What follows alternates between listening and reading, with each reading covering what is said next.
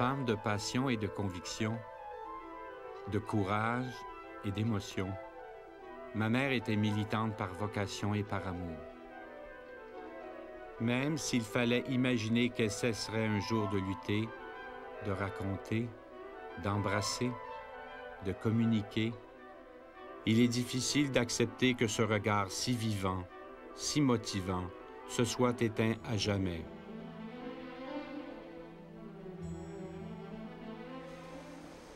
Pour moi, l'eau, c'est la symbolique de la, pureté de la vie. Et la rivière, c'est un mouvement. Hein. C'est pas comme un lac calme. J'ai pas une vie calme, j'ai jamais eu une vie calme. Une vie en mouvement. Et j'ai retrouvé à 17 ans, dans mon journal, je vais dire, si j'écris un jour, ce serait pour dire que ma vie est rivière.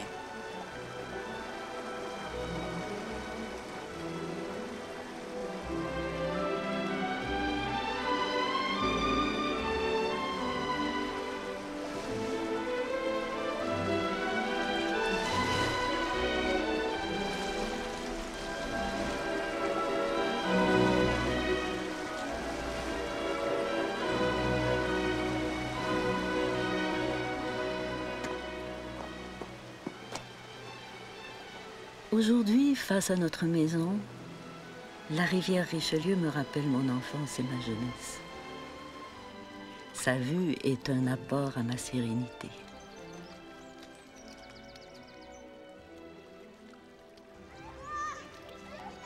J'avais trois ans quand mon père acheta à Belleuil, face à la rivière, une grande maison de bois peinturée blanche avec des persiennes vertes.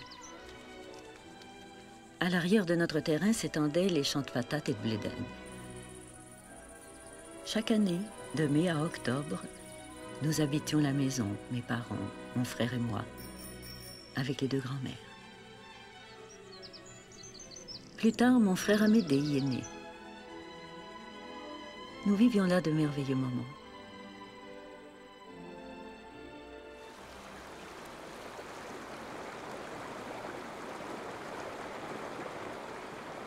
Chez nous, à table, on causait beaucoup de politique, de, musique, euh, de littérature. Ça, dans ce sens-là, j'étais très favorisée. Mon père m'inscrivait au concert symphonique, aux matinées des jeunesses symphoniques. Mon père connaissait Wilford Peltier, il m'amenait avec lui, il me présentait. C'est très rare parce que le père ne sortait pas sa fille en 1935. Il ne montrait pas conduire une auto à 17 ans, en 1937. Il était très d'avant-garde. J'ai écrit euh, texte qui disait Mon père, mon ami, mon guide, parce qu'il m'a beaucoup, beaucoup euh, euh, aidé à être à l'aise avec les gens. C'était un excellent conférencier, puis il était à l'aise avec les Il aimait les gens. Puis il m'a appris ça, à écouter, puis être sympathique avec les gens, puis apprendre des gens. Il vivait au jour le jour avec moi. C'est un homme qui euh, m'a transmis les choses les plus importantes de ma vie, comme d'avoir confiance en moi, qu'une femme est aussi intelligente qu'un homme, que ça ne se discute pas, euh, qu'une femme peut prendre tous les métiers, elle a toutes les possibilités, elle a qu'à s'affirmer.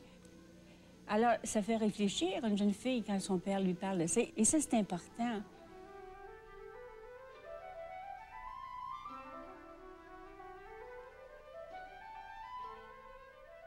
Alors, comme je suis une fille de député, une petite fille de ministre, une fille de juriste, j'ai appris très jeune à argumenter.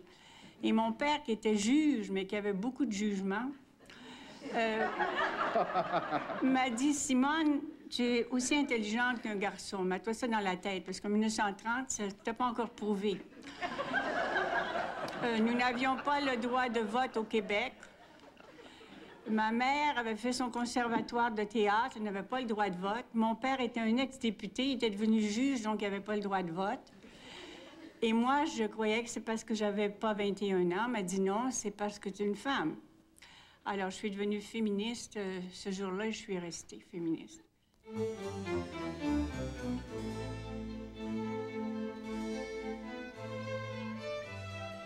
18, 19, 20 ans, j'étais dirigeante nationale de tous les collèges classiques de la province de Québec et de toutes les écoles normales dans les mouvements de jeunesse, la jeunesse étudiante catholique féminine. Je voulais joindre diverses associations qui améliorent le sort des gens. Maman trouvait prétentieux de vouloir sauver le monde et me reprochait d'éparpiller mon temps et mes énergies dans toutes les directions à la fois. Elle avait peut-être raison, mais comment faire autrement quand on voit les problèmes des gens moins favorisés? Moi, j'ai appris dans les mouvements de jeunesse. Les devises des mouvements de jeunesse, qu'on appelait la JOC, la JIC, la JIC. Bon, Michel était dans la, jeunesse indépendante catholique. Et moi, j'étais dans la jeunesse étudiante. Je m'occupais des écoles normales, des collèges classiques de filles, alors de 18 à 22 ans, des filles euh, de milieu bourgeois, privilégiées, qui pouvaient faire des études classiques, aller à l'université. On nous apprenait des mouvements de jeunesse, on était jeunes. Euh, prends ta place dans la société, sois responsable de ton milieu. il y avait une méthode pédagogique, puis j'ai jamais rien vu de meilleur. C'était voir, juger, agir. Tu vois une situation, tu l'étudies, tu en juges, et là, tu agis. Voir, juger, agir. Alors ça, ça m'a marqué pour la vie.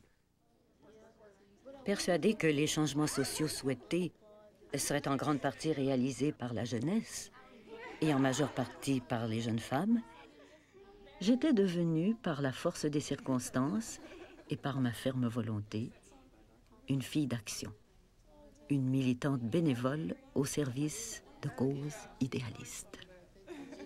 C'est ça. C'est comme on aurait dit autrefois, c'est ça que tu as à faire. C'est ça ta vocation ou c'est ça dans le sens de c'est ça que toi, tu dois faire. Toi-même, il n'y a que toi qui peux le faire.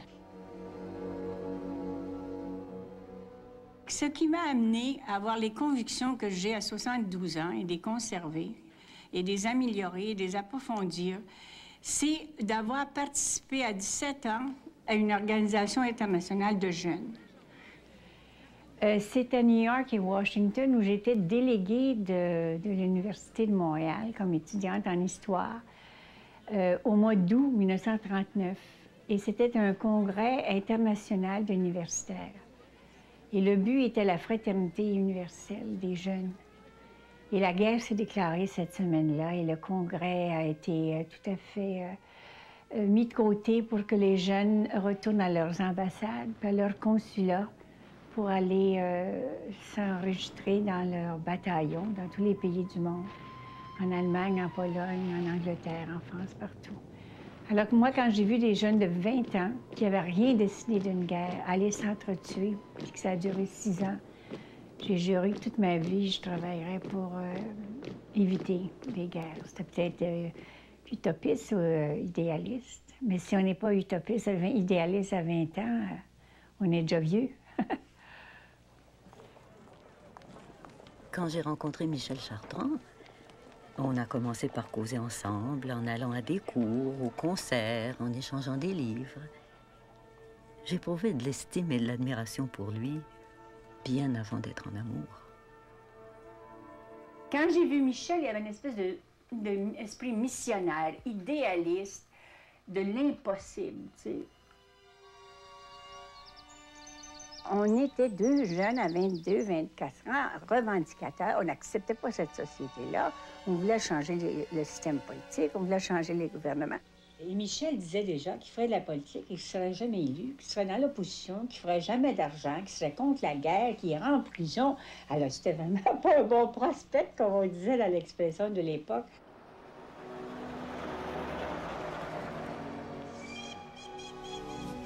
Je dois partir en train à la gare Windsor à destination de Chicago. 900 milles de route. Mes parents ont pris la décision de m'éloigner pour me faire oublier Michel Chartrand et nos projets de vie commune. Tu dois l'oublier, tu l'oublieras, tu reviendras quand tu auras décidé de ne plus le revoir. Malgré mes 22 ans, à cause de ma dépendance économique et affective envers eux, j'ai dû me résigner à ce malheureux départ. De son côté, Michel avait quand même tenu à venir à la gare. Il m'a dit au revoir et m'a souri amoureusement.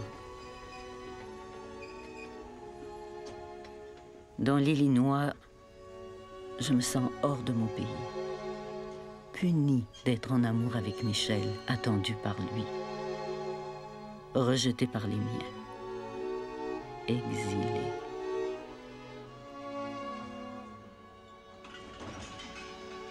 Mes parents, je les aimais bien, mais ils étaient contre. Dans ce temps-là, on tenait compte beaucoup de l'opinion des parents. Je pensais que j'étais influencée, j'étais subjuguée, j'étais euh, euh, sous son emprise. Alors, je commence, moi, je m'affirme, c'est une monnaie. En toute lucidité, je décide d'épouser Michel Chartrand. Quoique majeur, le curé de Saint-Germain d'Outremont, ami de ma famille, a refusé de célébrer mon mariage. Les adultes étaient très autoritaires à cette époque-là. C'est dans les années 40. Il connaît, je parle du curé, l'opposition de certains membres de ma famille à notre union dite non raisonnable et trop idéaliste. Ça, c'était les expressions qu'on avait. Qu'est-ce que vous en pensez aujourd'hui de ça? C'était non raisonnable et c'était très idéaliste. Mais c'est très bien comme ça. Choisir de rompre avec un milieu bourgeois pour devenir la compagne de Michel pour le meilleur et pour le pire, opter avec Michel dans un esprit de revendication et de pauvreté de nous associer aux luttes des citoyens et citoyennes les plus défavorisés d'ici et d'ailleurs, combattre les structures légalistes bureaucratiques du régime capitaliste, essayer de bâtir ici une société socialiste, c'était et c'est encore aller au-devant des difficultés, courir après le trouble, comme me disait ma grand-mère.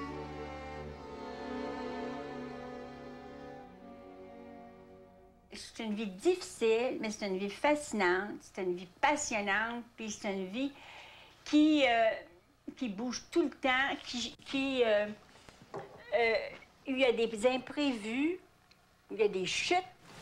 C'est pour ça que je reste en face de la rivière Richelieu. Ça me ressemble, ça. C'est la vie de Michel et moi, c'est la rivière Richelieu. Il y a des chutes, il y a des cascades du côté de Chambly, puis devant ma maison, puis devant ma fenêtre de chambre, puis le salon, il y a la rivière qui s'en va vers le bassin, qui s'élargit. Puis après ça, ça retourne à Rivière-Richelieu à Belleuil, où j'ai vécu 22 ans, puis ça va dans le lac Champlain.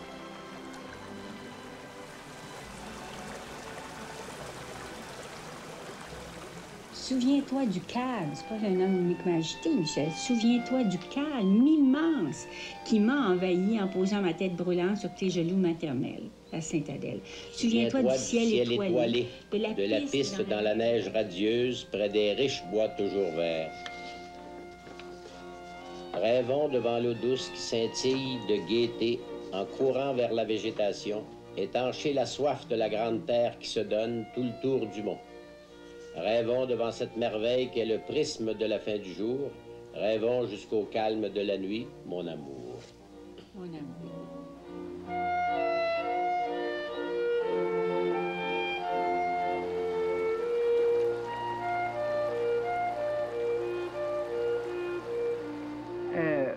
Suis en amour avec euh, la vie, avec mes enfants. Je suis en amour avec Michel, quand il était mal. Des fois, je suis pas en amour avec quelques heures, quelques demi-heures. Euh, je suis en amour avec les enfants. Ça ne veut pas dire que j'approuve toutes les folies qu'ils font, toutes les niaiseries qu'ils font quand ils sont petits ou qu'ils font des mauvais coups, des affaires comme ça. Mais euh, j'ai toujours trouvé ça tellement extraordinaire de pouvoir faire des enfants parce que moi, j'étais dans une famille où J'étais une famille privilégiée où il y avait deux bonnes. J'étais seule de filles. J'étais gâtée.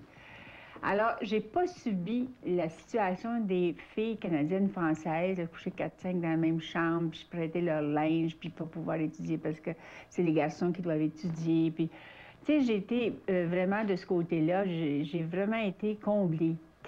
Alors, quand j'ai eu des enfants, ça m'apparaissait, euh, je me disais, je peux faire un livre de poèmes dans mon année, puis je peux faire une personne. Bon, moi, j'écrirai mes poèmes plus tard. en réalité, j'ai toujours écrit et les poèmes et fait les bébés.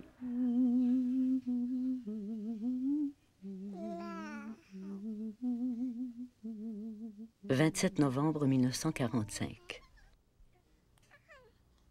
Je désire de toute mon ardeur et de toute mon âme embellir et approfondir notre amour. Tu me dis et m'écris souvent prends bien soin de notre amour. Mais pourquoi serais-je la seule gardienne de ce bien précieux? Pourquoi serait-ce uniquement la tâche de la femme? L'épouse et la mère canadienne-française ont trop de responsabilités dans la société traditionnelle. Moi, je désire que l'on partage également toutes les formes de responsabilité familiale et sociale. Comprends-moi bien. C'est sérieux ce que je te déclare. Tiens en compte. C'est essentiel à la bonne entente entre nous. Ça me paraît très faussé, cette optique que la femme est d'abord une mère et des distinctions entre mère et épouse. Alors, euh, euh, je crois que de plus en plus, surtout avec les jeunes filles qui font des études plus avancées, qui auront des professions et qui se marieront, euh, je voudrais bien qu'on considère la femme comme un individu, comme un être humain qui prend des responsabilités et qui les prend conjointement avec l'homme qu'elle choisit, avec lequel elle désire vivre. Mais c'est d'un commun accord et c'est, il y a une part d'intelligence là-dedans, il y a une part de maîtrise là-dedans, mais qu'on fasse appel à autre chose que notre instinct maternel. Je me merveilleux ce que, ce que j'ai fait, même si il fallait se lever la nuit, les rougeoles, l'escalatine, les rubéoles. Nos mères, nos grand-mères avaient fait la même chose. Non, moi, je trouve que c'est un bilan très positif parce qu'en somme, j'ai vraiment fait ce que j'ai voulu et surtout de la façon dont je l'ai voulu. J'ai pas élevé les enfants comme mes voisines. J'ai pas levé le lundi matin s'il pleuvait. Euh, j'ai pas repassé les draps. Je trouvais que c'était une perte de temps. J'aimais mieux lire. Je, je me trouvais que c'était euh, l'épanouissement total d'une femme d'être que ménagère. Alors, c'était des couples. Alors, c'était l'école des parents, c'était les unions de famille, où il y avait toujours un aspect de euh, lire ce qu'il y avait de plus avancé au point de vue de la théologie, du laïcat. On avait le même idéal de vie, puis on avait la même culture, les mêmes ambitions d'améliorer des choses. Puis au point de vue spirituel, de rompre avec une tradition catholique fermée, désuète, euh, un peu très autoritaire même. Je trouve que l'Église catholique a vécu euh, d'une façon absolument, sur des données absolument archaïques en matière de sexologie, et que la rigueur extrême de la morale sexuelle catholique est vraiment, euh, disons, inhumaine. Et ce deuxième cardinal, je crois qu'il fait du mariage qu'un simple instrument de procréation. Bien, là aussi, je suis absolument en désaccord. Et je crois que, euh, est-ce que les laïcs, est-ce que les parents, est-ce que les couples ensemble, parce que c'est le problème du couple, c'est pas le problème des théologies, c'est le problème du couple de prendre ses responsabilités, de s'informer et de vivre la façon la plus harmonieuse possible dans l'état du mariage et dans la vie euh, quotidienne. Moi, j'ai étudié les pères de l'Église, parce que je faisais de l'information religieuse. J'ai jamais été tant insultée que par les pères de l'Église. Tu sais, avec les vipères, des litanies d'insultes, tu sais, sur les femmes, tu sais. Est-ce que ça a changé ou ça? Ah ben, j'espère bien, je les suis plus près, mais j'espère, pour eux autres, mais pour nous autres. Pourquoi les églises sont vidées alors que tout le monde est catholique de naissance? C'est parce qu'ils ont été tellement maladroits, ils ont si peu compris les problèmes socio-économiques du quotidien, du vécu des femmes. Il fallait faire un petit parané sans ça, on allait en enfer. Au lieu de... Puis euh, empêcher la famille, c'était l'expression, empêcher la famille, euh, c'était criminel. Euh, bon, quelqu'un parlait dans un cas extrême d'avortement, ça tuait des vies, mais ça, c'est des mots durs, ça. Puis, moi, ça, je trouvais ça. De quoi ils se mêlaient d'abord? Hein? Si tu décides d'être célibataire, bien, qui laisse faire ceux qui couchent ensemble? Ça ne les regarde pas, ça. Je trouvais que c'était un viol des consciences d'imposer des dogmes et des obligations, puis faire des péchés mortels ici, puis des péchés mortels là. Ça, ça Moi, j'en fais pas de péchés mortels. J'ai l'amour avec le monde, j'aime beaucoup de monde. Je sais quoi sur les péchés mortels? Voyons donc. Moi, je me sens pas de, place là-dedans, avec tous les efforts dans l'Action catholique, dans les Vous êtes chrétienne? Oui, oui, mais je pense que je suis plus directement, euh, peut-être probablement euh, schématique en disant ça, rattaché à l'Évangile et au message du Christ, qu'à la hiérarchie, l'institution et, et, tout ça. Parce que j'y ai goûté, puis je, ça ne m'a pas aidé. J'ai déjà dit à une assemblée d'évêques... Euh, c'est pas le, socialiste qui pouvait me, donner, ça aurait été plutôt de voir le fonctionnement d'une assemblée d'évêques, sans qu'il y ait des consultantes euh, féminines religieuses ou des gens du milieu sous-développé ou de la pauvreté ou des gens sans emploi ou des gens sans voix. Je trouve que même que le Christ aurait été qu'un humain, un fils de, de Marie, un petit jeune hébreu, euh, même qu'il ne serait pas Dieu, je trouverais que ce serait quand même un homme sympathique, assez pour être un prophète. Tu, peux, tu peux avoir des influences dans ta vie. Moi, il y a eu Gandhi, Lenza del Vasto, l'abbé Pierre, euh, il y a eu Thérèse de Calcutta actuellement.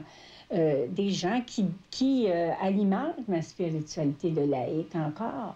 Je relis les passages. Il y a des philosophes, il y a des musiciens qui peuvent être, servir d'inspiration.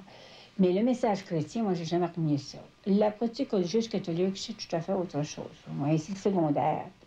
C'est une pratique, c'est pas une spiritualité.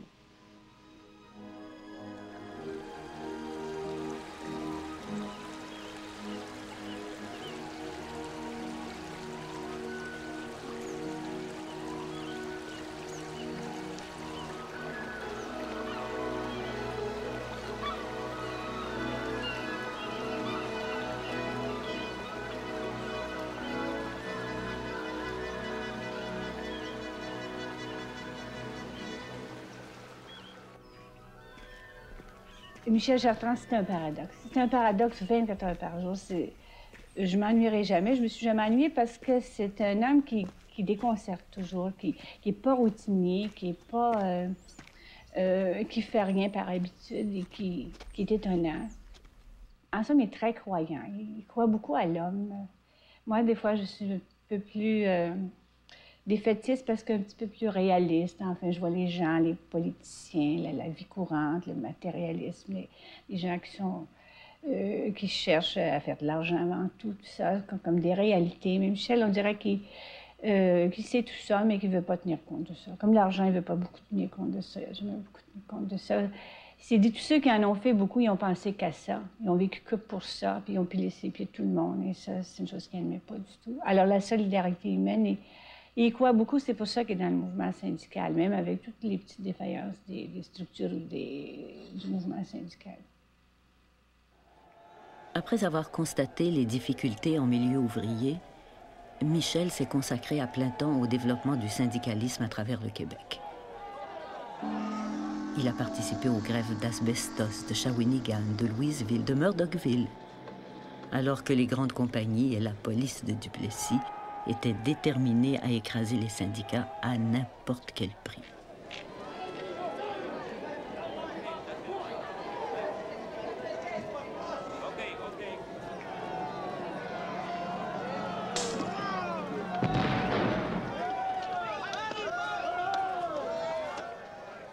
j'ai compris qu'est-ce que c'était le vrai problème des ouvriers, sans sécurité d'emploi, sans salaire convenable, sans, sans contrat de travail même. J'ai souvent eu l'impression de vivre en veuve de guerre, vu les fréquentes absences de Michel et ses séjours plus ou moins prolongés à l'extérieur ou en cellule. Je l'ai cependant toujours appuyé dans ses campagnes politiques et syndicales.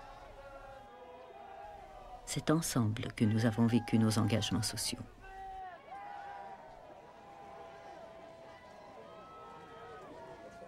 C'est que c'est un gars qui est, qui est courageux. Faut pas dire le contraire.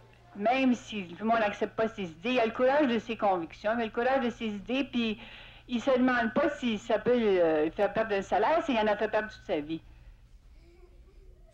Il se demandait pas si c'était important d'avoir tout ce qu'il fallait dans la maison. On n'avait pas tout ce qu'il fallait. Des fois, il coupait l'électricité parce que c'était pas payé. Puis c'est pas parce qu'il y avait une grève d'Hydro-Québec, c'est parce qu'il n'était pas capable de payer. Mais on m'a dit, vous avez combien d'enfants, Simone Chartrand? J'ai sept enfants. Mais si vous avez tant d'enfants, restez donc chez vous. J'ai dit, dis donc ça, Michel Chartrand. Il y a même sept enfants que moi, c'est à lui. Pourquoi il n'est pas chez eux des fois? Hum. Pourquoi moi, je ne peux pas aller donner une conférence, puis lui, il a toutes les excuses de s'asseoir par semaine en réunion. Mais comment vous avez fait quand on a un enfant? On se demande comment vous, vous avez fait avec cet enfant. Oh, il fallait avoir un sens d'organisation. Tout ce que j'ai planifié dans ma vie, c'est extraordinaire, excepté les naissances. j'ai réalisé ça. Mais mes horaires, moi, c'était très planifié. Je me couchais tôt, me levais tôt, j'écrivais tout sur... Moi, euh, mon outil, c'est un, papier, un crayon. J'ai toujours écrit. Mais comment fait-on pour, avoir, pour avoir été élevé dans la Watt et, après pouvoir vivre et accepter. La bois, puis la fournaise. Mais oui, mais comment. les bébés qui vous avez une pneumonie parce que tu as 55 dans la maison. comment peut-on accepter ça? C'est qu'il me disait, c'est la majorité des gens qui vivent comme ça. Occupe-toi de ces gens-là. Tu as eu ta part de bien-être, occupe-toi de ces gens-là. Je me disais, il a raison. Quand les enfants prenaient plus la musique parce qu'on ne pouvait plus payer, il disait combien d'enfants ont du talent, peut-être plus que toi, et, nos filles, ils n'apprennent pas la musique. Occupe-toi de ce que ce soit l'instruction gratuite et obligatoire pour tout le monde cherche pas à régler ton cas tout seul. Et ça, je trouvais qu'il y avait beaucoup de bon sens. Et c'est pour ça que j'ai milité avec des groupes, des équipes, fondé des groupes, parce qu'on ne règle pas ces, ces problèmes-là tout seul.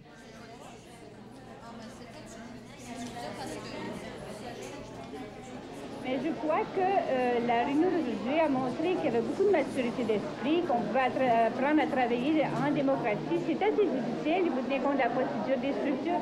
Et je pense que toutes les femmes, même celles qui ne sont pas, vont en bénéficier. Ça fait 45 ans que je fais du bénévolat. J'ai commencé très jeune. Et j'ai toujours remarqué que la situation de la femme, qu'elle soit à la maison, au travail, à l'université, aux études, en chômage, assistante sociale, euh, séparée, divorcée, euh, deux amants ou lesbienne, est toujours une situation de minoritaire et d'injustice partout. Plus tard, les enfants commençaient à dire, là, vraiment, un moment, tu exagères, tu te fais exploiter à la Fédération des femmes, pas par la Fédération des femmes, tu vas là, tu donnes des cours sur la, la, politique, comment apprendre aux femmes à faire euh, une assemblée publique, euh, comment elles peuvent voter, comment elles peuvent suivre un ordre du jour pour avoir le droit de parole. C'est important pour vous, le volontariat, de faire des choses bénévolement. Il faut, faut faire bien attention. Aujourd'hui, je ne serais pas d'accord, par exemple, d'être auxiliaire dans un hôpital quand ça enlève un salaire à une infirmière professionnelle ou une infirmière auxiliaire. Ça, là, au point de vue syndical, au point de vue métier, il faut faire attention.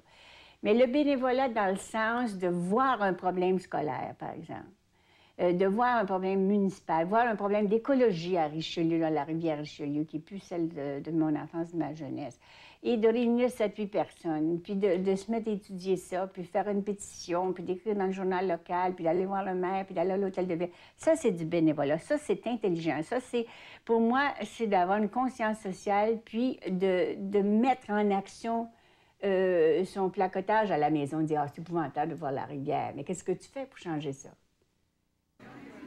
Vous pouvez, dans une affiance, apprendre à connaître les femmes qui vivent dans le même milieu, avoir des confidences, vous rendre des services. euh, et après ça, rédiger un texte. Après ça, à la Fédération des femmes, moi, j'ai donné énormément de services bénévoles pour et outiller les femmes à prendre des responsabilités. Faut- on n'a pas appris ça nulle part. Alors, à faire un communiqué de presse, organiser une conférence de presse, à rédiger un mémoire, à, faire un procès verbal, à savoir la procédure d'assemblée. Il faut avoir des outils comme ça. Et on donne des cours euh, aux femmes à la Fédération des femmes pour euh, des cours au leadership, des cours pour leur donner confiance dans les associations. Et petit à petit, elles arrivent après, des fois, à avoir des postes rémunérés. Et elles sont pas moins dévouées pour ça.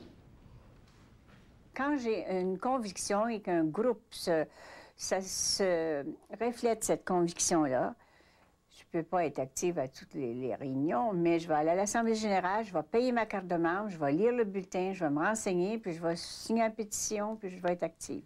Je dis partout à des femmes de cultivateurs, à des femmes euh, qui travaillent dans des usines, quand j'en vois de tous les milieux possibles, dans les salons du livre, c'est un autre milieu. Mhm. Je vais à Outaouais, là. Qu'est-ce que vous voulez en dire? Bon, mais je leur dis, vous êtes capable, puis si vous ne vous sentez pas capable, rendez-vous capable.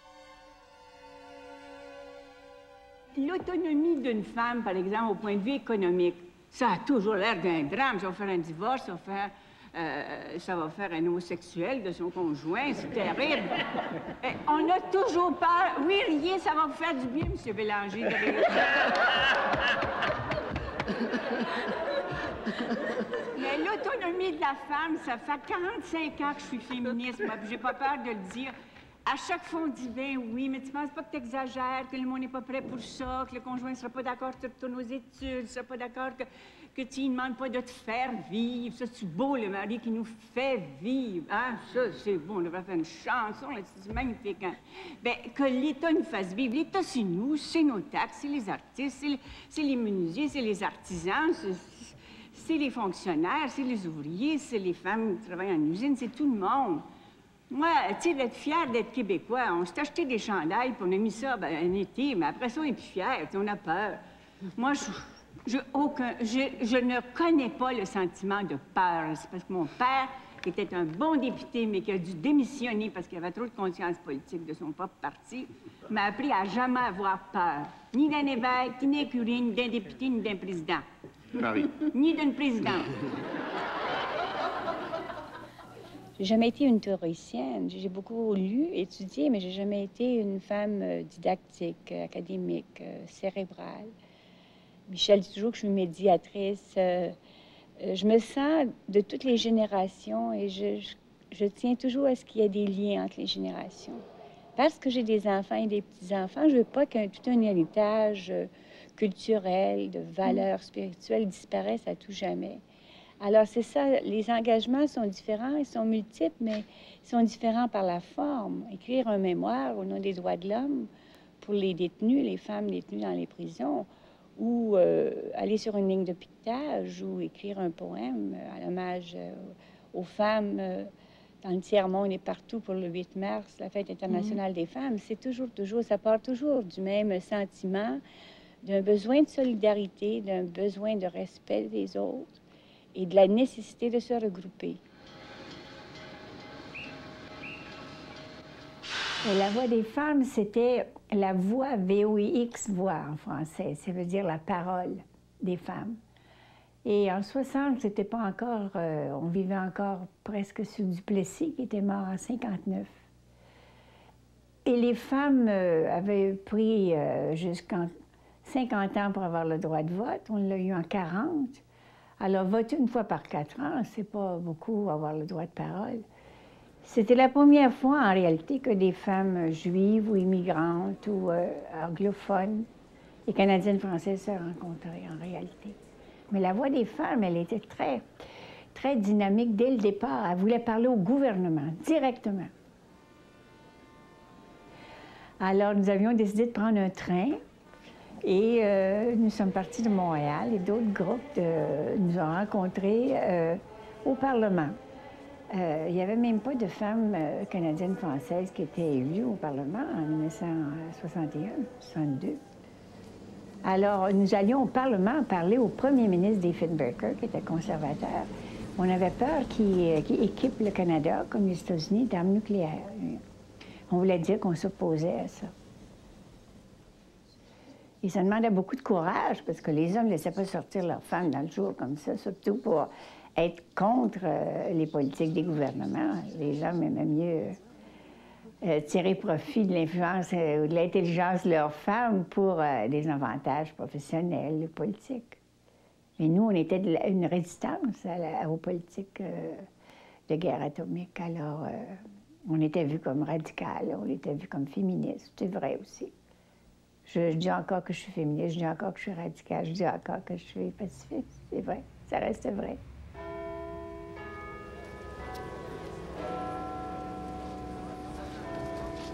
On voulait une autre génération, puis la génération de nos petits-enfants, qui aurait moins de, préjugés, moins de fanatisme. Que ce soit au nom du Christ ou que ce soit au nom d'Allah, pas de raison d'aller s'entretuer. C'est complètement absurde les femmes mettent des enfants au monde, on pense à la santé, on pense aux soins, à la prévention, les recherches médicales, tout ça pour qu'il y ait une bombe atomique qui vous tombe dessus, pour que qui décide des guerres? C'est des grandes multinationales, c'est des intérêts financiers. Ça n'a jamais été pour les fins. On a beau dire pour la liberté, la démocratie, c'est complètement... C'est mensonger. Mon engagement dans les groupements de paix est motivé par la recherche d'alternatives à la violence, à la terreur, à la puissance d'où qu'elle provienne. Je suis du côté de la vie, du côté de la négociation, de la patience et de la sagesse. Le pacifisme, s'était vu comme égal communiste. C'était vu comme une idéologie communiste. J'ai jamais compris pourquoi. Et il, y avait des membres de la Voix des femmes qui avaient adhéré au Parti communiste canadien à cause du programme social qui était beaucoup plus évolué que les libéraux, les conservateurs, avant le NPD, là, avant le CCF, pardon. Le CCF, c'était avant le NPD. Et euh, ces femmes avouaient euh, trouver des, programmes très intéressants dans le Parti communiste au point de vue social pour l'ensemble de la population. Euh, pensaient ainsi Léa Aubach, Madeleine Parent, qui étaient des femmes très intelligentes, célibataires, mais qui connaissaient ça.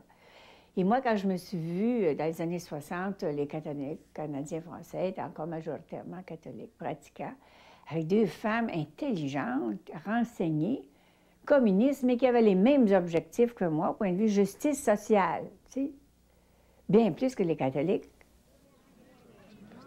Nous sommes euh, allés euh, comme invités et non comme délégués, parce que nous étions pas membre du Parti communiste, un congrès international à Moscou en juin 63.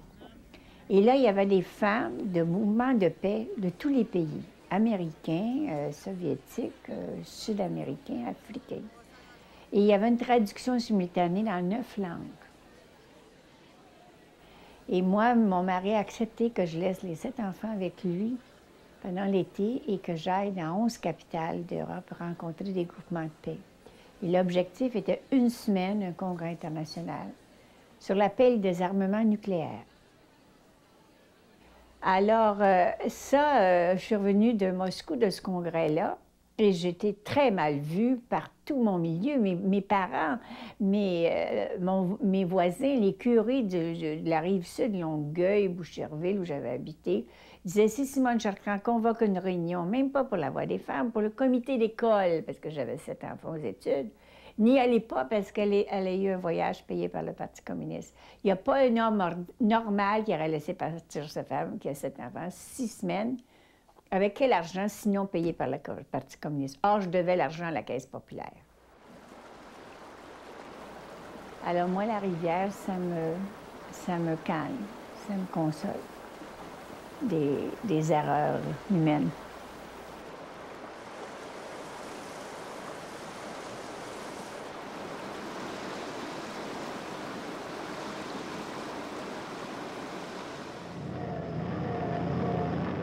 Le 5 octobre 1970, un diplomate britannique est enlevé. Cinq jours plus tard, le ministre Pierre Laporte est à son tour kidnappé par les membres de la cellule Chénier du Front de libération du Québec.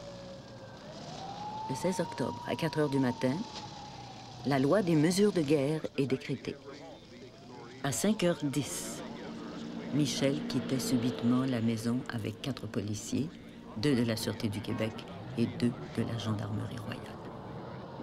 Il n'était pas membre du FLQ, mais depuis plusieurs années, le pouvoir politique lui reprochait de dénoncer le système capitaliste avec une violence verbale susceptible d'inciter des groupes à mettre la hache dans ce système. Serait-ce la raison de son arrestation? Je vais m'asseoir au bout de notre immense table désertée. Seule. Toute seule. J'envoie un télégramme de sympathie à Madame Laporte que j'avais connue dans l'Union des familles de Saint-Lambert. Toute cette violence de part et d'autre m'angoisse, me trouble. Je serai 21 jours sans savoir où ils ont emmené Michel. Je suis devenue, à cause d'un pouvoir autoritaire, la femme d'un prisonnier politique. Tout ce temps-là, on sait très bien, comme Québécois, qu'on est prisonnier d'un système. Et ceux qui le disent tout haut sont vus comme des criminels en puissance et sont vus comme des terroristes. J'ai appris quand même, quand même, quand même, tout ce qu'il fallait pas croire croire que le pouvoir, c'est la justice, croire que le pouvoir, c'est le droit, et croire que les lois, c'est la justice. Pour nous, de voir l'armée euh, autour des institutions, l'armée ne protège que les édifices et l'establishment. Elle ne protège pas les institutions démocratiques comme le droit de parole, le droit d'assemblée, le droit de voir normalement, par l'intermédiaire d'avocats, des gens qui ont été emprisonnés sans mandat.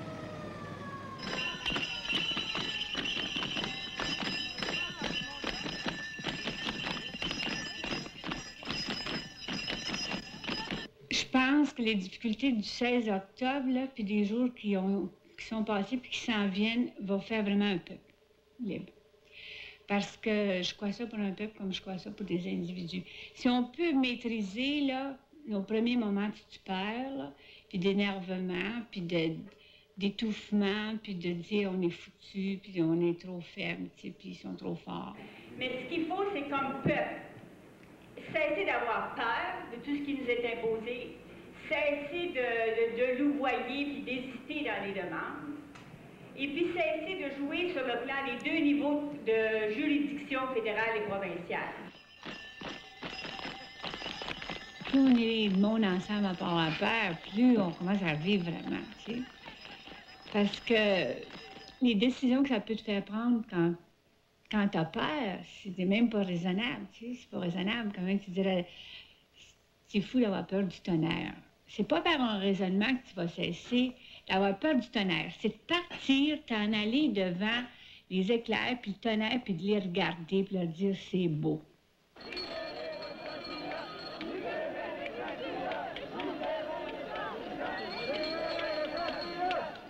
beaucoup de gens ont dû être obligés de dominer leur peur aujourd'hui, le 25 Noël.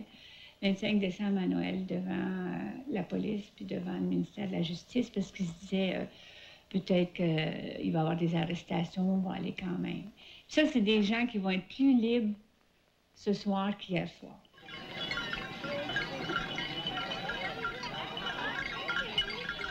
17 janvier 1971. Mon compagnon détenu. Trois mois d'absence, c'est trop long. Je traîne avec moi toutes tes lettres. Je les relis. Je les sais par cœur, plus que de mémoire.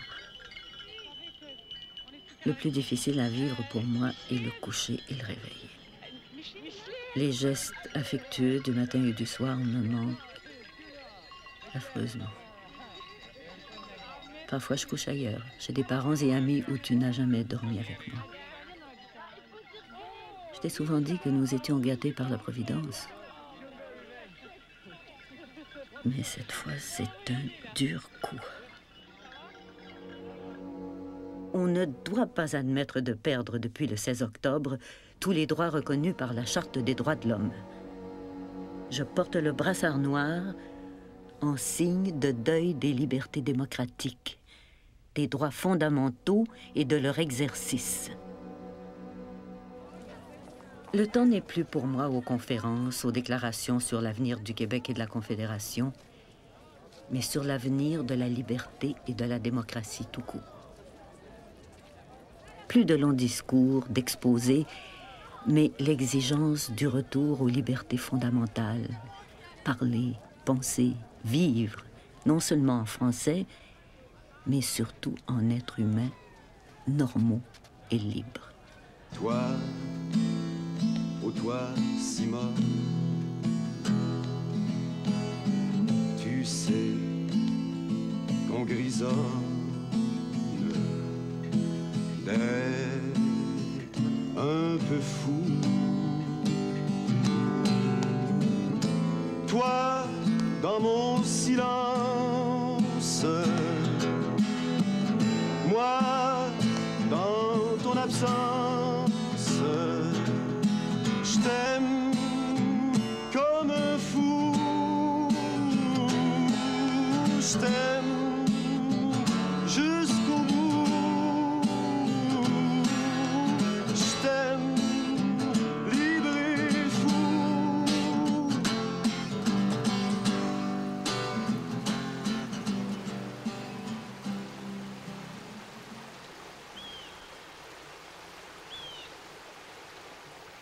Puis si j'avais à mourir, là, euh, je pense à Garcia Lorca, là, tu sais, ou euh, ceux qui ont fait des, des- des anarchistes ou des révolutionnaires, là. Euh, je dirais pour la liberté, tu sais, pour l'amour, pour la liberté. Avec là, une- je mourrais de bonne humeur. Avec une autre, avec une autre dimension. Même avec une mitraillette au bout, je mourrais de bonne humeur. J'aurais pas de peine. Puis la liberté, c'est pas nécessairement la violence. Pour moi, il y a des violences justifiées, comme des guerres nationales, de libération nationale justifiées en Amérique du Sud, en Afrique, contre les, les dominateurs, les colonisateurs, tout ça. Mais euh, moi, je suis de l'école de Gandhi, de Lenza del Vasto, de David Toro. Et j'ai pas de mérite à ça. C'est dans mon tempérament, la conciliation. C'est dans mon tempérament de trouver toute autre forme de réglementation, puis de règlement, puis de négociation, pour dire un terme dont on entend parler tous les jours dans les journaux, euh, que par la violence. Mais une bonne... euh, se choquer une bonne fois contre une injustice, puis une bonne colère, là. Tu sais, quand le Christ est arrivé dans le temple, puis qu'il a sacré tout ça là, à terre, là, puis que... Il allait, allait pas, il allait pas mal à la chartreur, il allait pas doucement, hein, puis vous êtes des, vous êtes des hypocrites, puis des sépulcres branchis. Ben, Michel dit ça à Ministre national pour le gouvernement. C'est là que je dis que c'est un Christ de fou. Je veux dire qu'il est fou comme le Christ était fou de ne pas vouloir un, un royaume, de ne pas vouloir des biens matériels, de ne pas vouloir le pouvoir. Le Christ n'est pas venu chercher le pouvoir. Il est venu apporter l'amour entre les hommes. C'est pas pareil.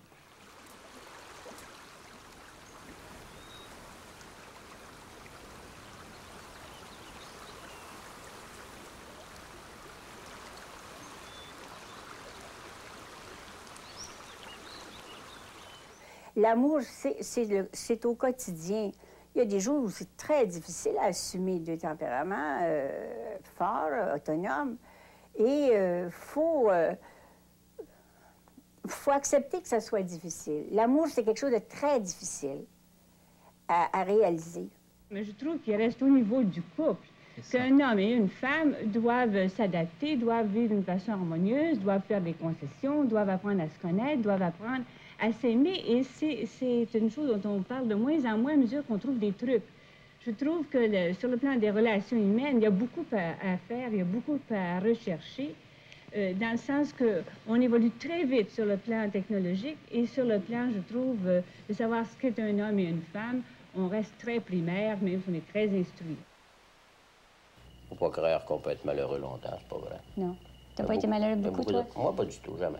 Bon. Non. Toi? T'es malheureuse déjà? Je suis agacée, ennuyée. Ah, ouais, c'est parce que les, les femmes mois sont de plus prison, sensibles que les... les hommes. Ah, ben, les déménagements. Ah, ben les mois de prison, les mois de prison, c'est un autre affaire. Le déménagement, pas tellement de déménagement? Non, non, pas exagéré. non, Des fois, t'étais chez puis ouais, là, je déménage.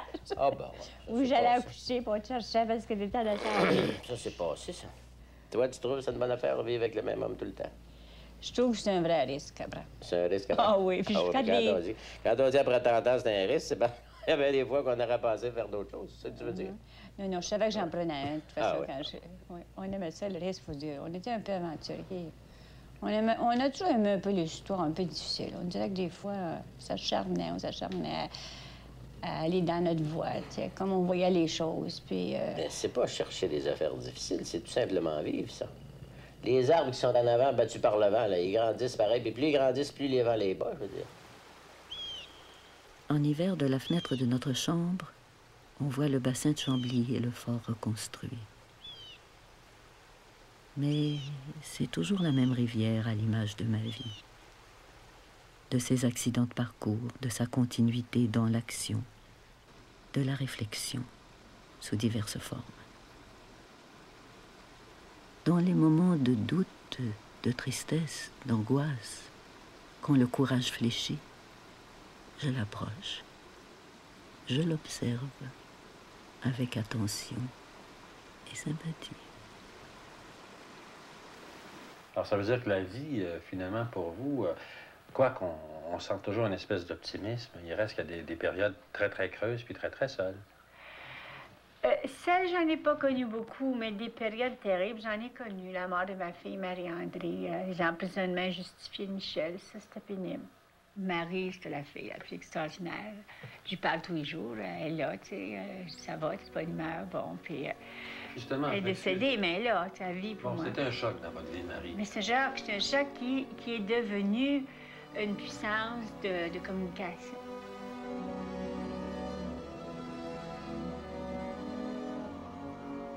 La mort accidentelle de Marie est ma première véritable grande épreuve morale. Marie, une splendide fleur coupée en pleine éclosion au petit matin dans sa maison de campagne. Mais la vie va triompher de l'absurdité de ta mort, ma très chère Marie. Je m'en porte garante sur la tête de ton enfant.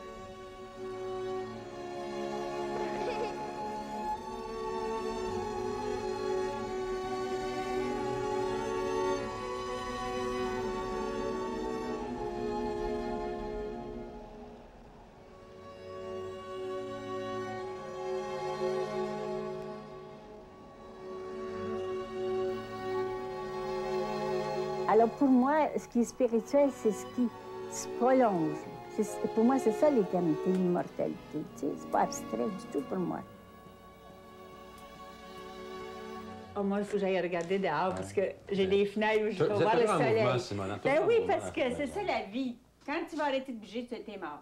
C'est un peu comme le lierre aussi. Hein? Le lierre, le soleil. Regarde, moi, Michel, il m'a organisé toute une cuisine là, qui n'existait pas. Il a fait rallonger ça pour que je puisse voir le soleil, les arbres, les enfants qui vont à l'école. Puis, euh, je vais regarder ça. C'est pas, pas un drame, la vie de la vaisselle, même de 10 personnes, parce que c'est beau dehors. Je regarde dehors.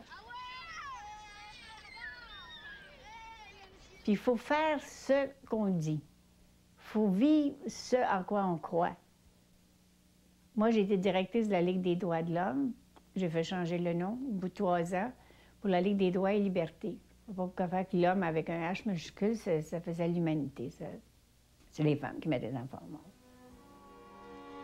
Je défends les droits de divers groupes ethniques, des immigrantes, aussi ceux des femmes autochtones.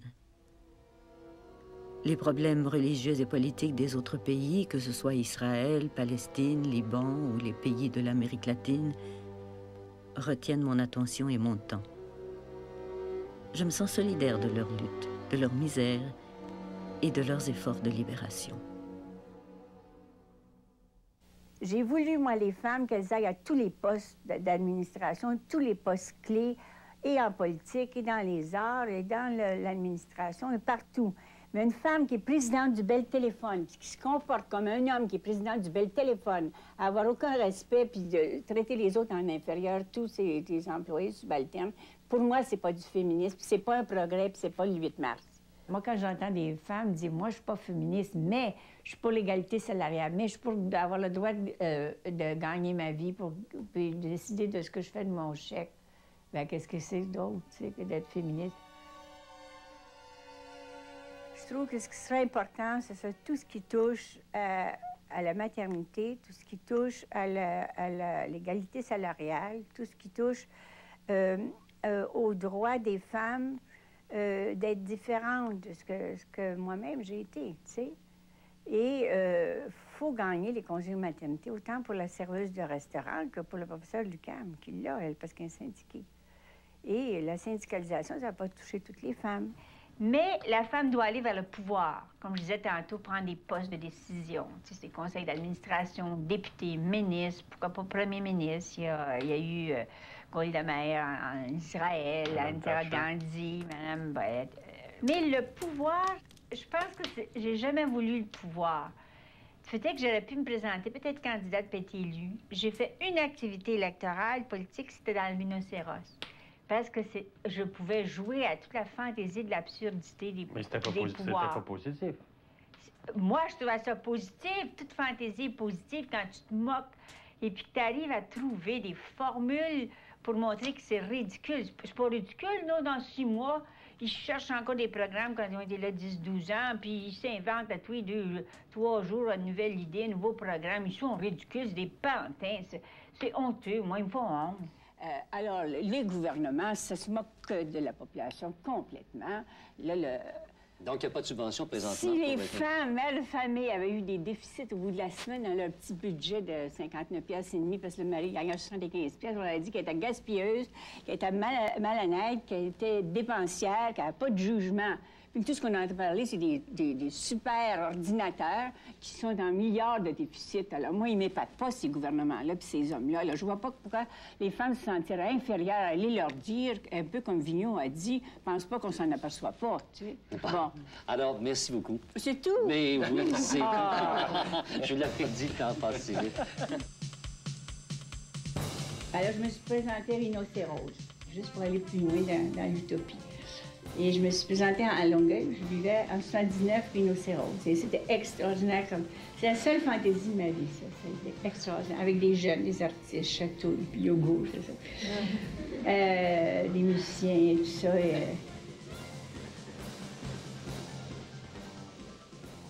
ça passe tellement vite qu'il faut vraiment jouir de tous les instants puis les vivre au maximum. Faut pas être paresseux avec la vie, tu sais. Faut la- y faire face puis euh, dire tu m'auras pas, comme la maladie tu m'auras pas, comme la mort tu m'auras pas. Euh, et puis euh, moi je sais pas, là je viens d'avoir 60 ans puis euh, me semble que c'est trop c'est pas assez en même temps. Mais de toute façon, je ne veux pas entrer dans les discussions philosophiques. Ça ne change rien. J'ai 60 ans. Tous les matins, je me dis qu'est-ce que je fais de, de ma journée? Je ne m'occupe pas de mes 60 ans. Euh, aujourd'hui, aujourd'hui, qu'est-ce que je fais? Là, je te parle, c'est ça qui est important.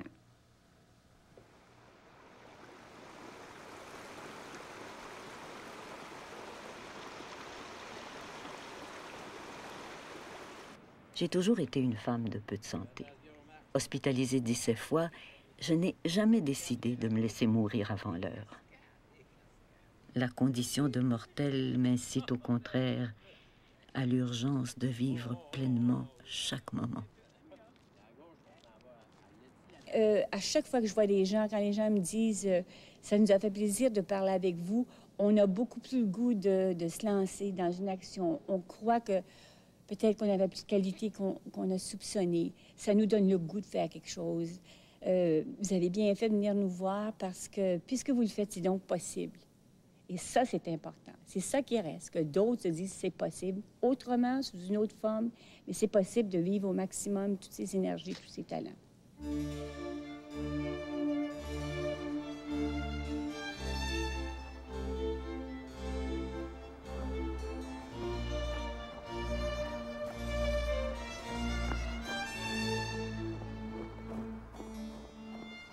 Force d'être toujours bousculé et surmené par les exigences de multiples engagements sociaux, de pair avec les exigences du quotidien, ma respiration et mon rythme cardiaque en furent très affectés.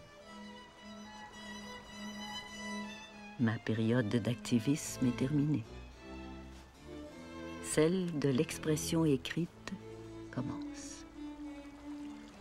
Simone Chartrand, pour écrire cette autobiographie, vous avez laissé votre activité dans les CLSC et vous avez laissé votre poste à la Ligue des droits de la personne. Pourquoi était-ce plus important pour vous en ce moment d'écrire cette autobiographie que de vous battre comme vous l'avez toujours fait? C'est une autre façon de, de me battre gentiment, peut-être. Oui. C'est parce qu'il y a de la relève dans ces groupes-là. Il ne faut pas se sentir indispensable. Et euh, je suis contre toute forme de routine dans la, la vie quotidienne ou dans le métier. Est-ce que vous trouvez que se battre, c'est une routine?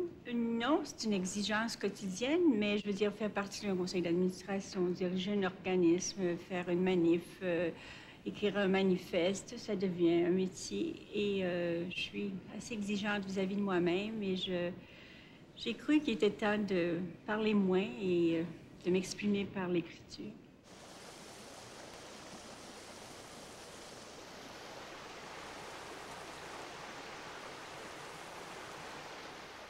Ne veux pas que les ans, le froid et la neige ne gèlent ma mémoire.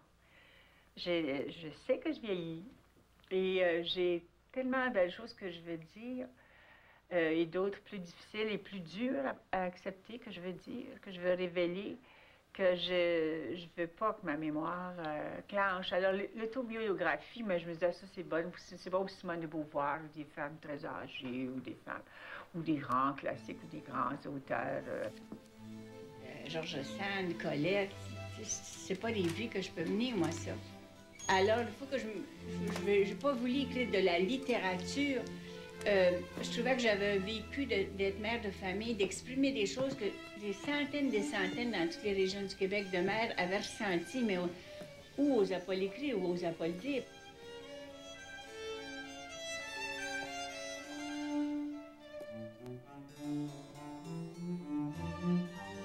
C'est le brouillon caché de leurs timides poèmes et de leur journal intime que je veux faire connaître et reconnaître.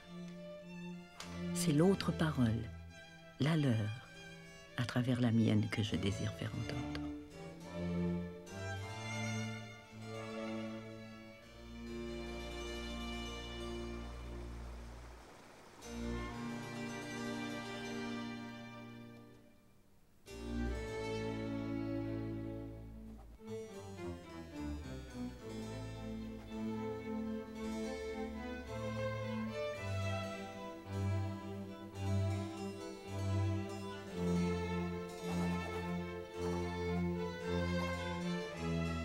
Je ne sais si j'ai vraiment sacrifié l'écriture à l'action, ni si j'ai sacrifié le bonheur à l'action et à l'écriture.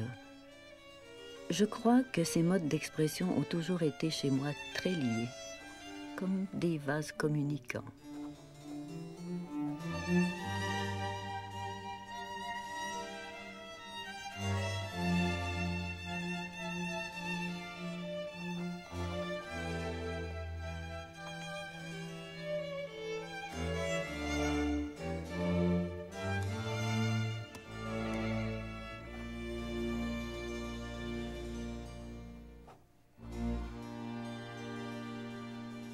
J'arrêterai quand il y aura un signal, mais euh, je suis trop occupée pour avoir le temps d'être malade ni de mourir.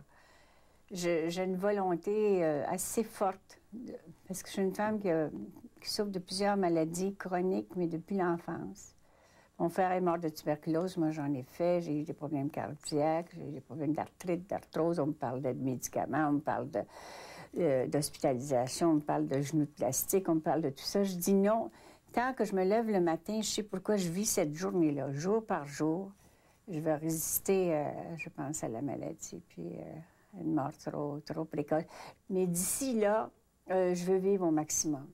Alors, le temps de, si je travaille cinq heures à l'écriture, puis deux ou trois heures et demie à des causeries, des colloques, des congrès, euh, bon, rencontrer les gens du camp, comme Thérèse Casgrain, témoigner sur ses qualités, sur l'influence bienfaisante qu'elle a eue sur moi, bien, euh, c'est, là, je m'en vais à un salon du livre, je vois des gens, je sais pour qui j'écris, je, je veux laisser ça comme héritage, non seulement à mes enfants, mais au grand public. Alors, je suis conditionnée à, à mater mes, mes peurs ou mes angoisses de, de trop vieillir, de Vous voulez malade. terminer ce que vous avez décidé. Ah oui, puis je vais terminer. Je suis sûre de ça.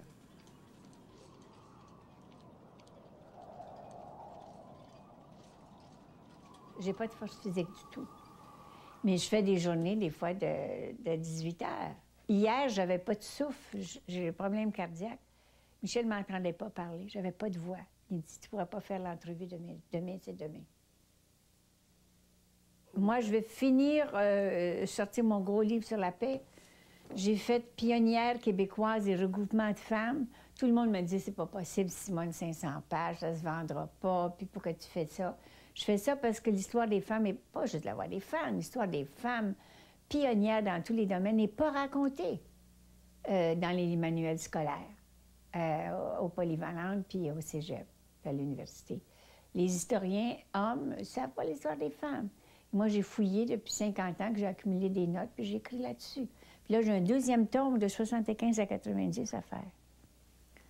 Et j'ai une secrétaire qui met tout sur l'ordinateur. Mon livre sur la paix doit sortir, puis mon quatrième tome, Ma vie comme une rivière, doit sortir. Quand je portais les enfants, ils disaient, elle va faire une fausse couche, elle n'est pas assez forte, elle, elle va mourir d'un accouchement. Je ne suis pas morte. De mes souvenirs où les joies et soucis se mêlent aux espoirs, aux doutes, aux interrogations plus qu'aux réponses, naît en moi une force morale, une foi invincible dans l'impossible qui m'envahit comme un souffle au cœur. Ah. Plus je me réconcilie avec moi-même, acceptant mon âge et mes ennuis physiques, plus je suis ouverte à l'aventure, à la vie avec ses risques et ses dangers, ses hasards et ses surprises.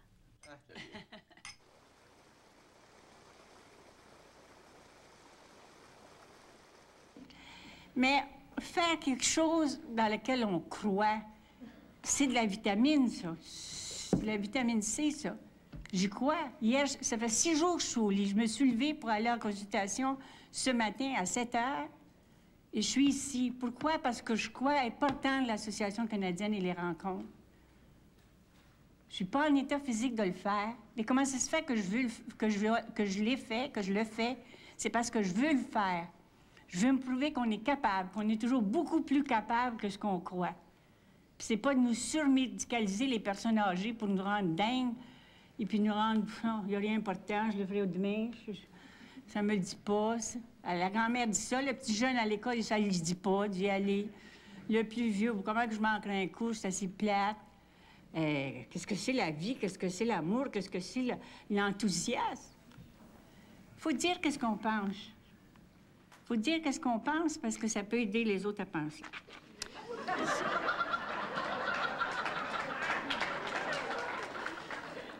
Alors, classer les gens, une féministe, une radicale, une intellectuelle, une- je trouve ça ridicule. Moi, je le dis à tout le monde. Oui, j'ai 71 ans. Oui, je suis féministe. Oui, je suis militante pacifiste. Oui, je suis politisée. Oui, je suis pas d'accord avec euh, juste la rentabilité puis l'économique. Puis ça me paye pas, puis ça me dérange pas parce que je n'ai jamais eu d'argent. Mais euh, j'ai, je me respecte. Mon petit-fils me respecte, puis ça, je pense que c'est important.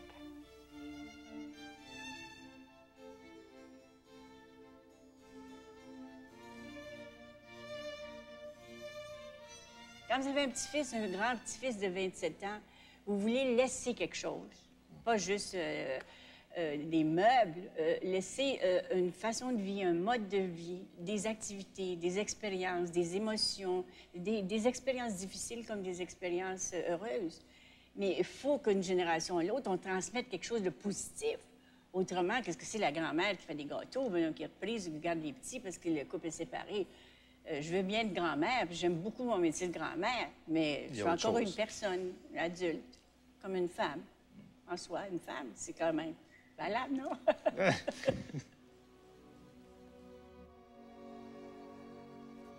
Au cours de ma vie avec Michel, j'ai connu, comme lui et avec lui, l'insécurité matérielle, les menaces, l'emprisonnement, les périodes sans salaire et par-dessus tout, l'indifférence, l'apathie, voire même l'abandon de certaines personnes et de divers groupes que je croyais sympathiques à nos engagements sociaux.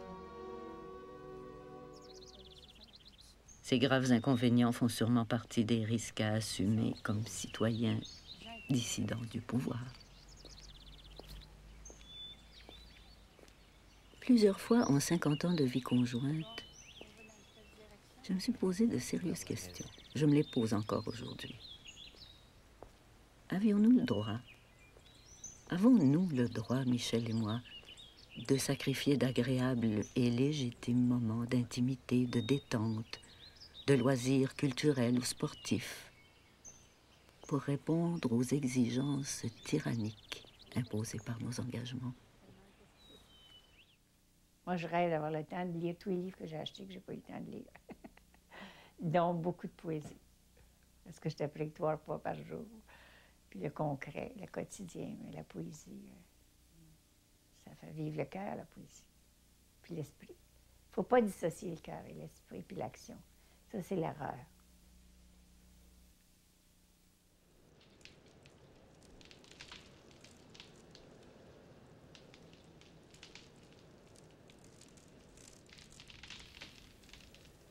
Et cette nuit, j'ai entendu craquer des arbres. Alors ça, ça c'est comme la- la- la- le côté euh, dur de la vie, tu sais, les brisures.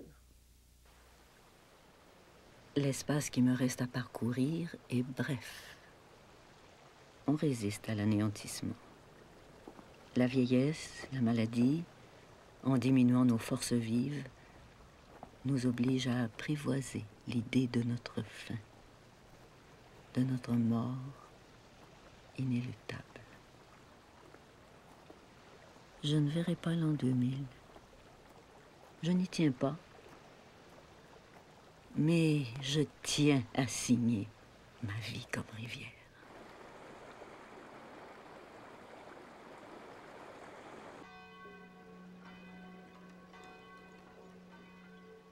Le 26 novembre 1992, quelques jours après le lancement du dernier tome de son autobiographie, Simone apprenait qu'elle mourait de cancer en quelques mois. Son journal intime témoigne encore d'une force morale hors du commun. Elle note simplement que le sort en est jeté, que l'équipe médicale est sympathique et qualifiée, qu'elle doit avertir sa maison d'édition d'annuler tous ses rendez-vous. En décembre, elle avise son médecin de son intention de mourir chez elle. Les jours suivants, elle lit des documents personnels, fait son administration, rédige un article en tant que marraine des artistes pour la paix et s'attriste de vivre trop souvent au ralenti. Elle n'évoque aucunement sa fin prochaine, continuant à vivre intensément son quotidien comme elle l'avait toujours fait. Le 18 décembre, ma mère écrit qu'elle trouve le soleil réconfortant, puis s'enthousiasme en apprenant que son ami Claude Gauthier reçoit le prix Jacques Blanchet. Elle l'appelle pour le féliciter.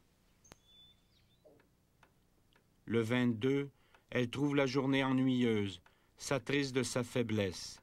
Elle voudrait classer, répondre aux cartes de vœux, lire. Il y a tant à faire. Elle note son humiliation de se sentir incapable. Deux jours après Noël, une dernière phrase termine son agenda. Bon soleil, Belle soirée, belle année. Le quatrième tome est terminé. Baiser, cadeau, triste fin d'année. Le 18 janvier 1993, à peine deux mois après le verdict, elle s'éteint dans sa chambre à 14h30, les yeux fixés sur la fenêtre d'où l'on voit la rivière.